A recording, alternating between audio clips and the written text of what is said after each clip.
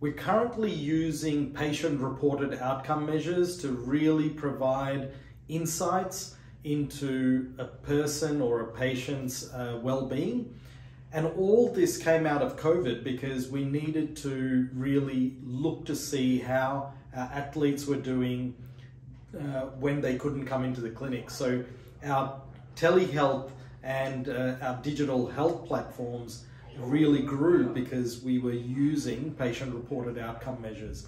And I'll show you how what we do, but also what is available through platforms that make it so much easier for your patients to use in everyday life.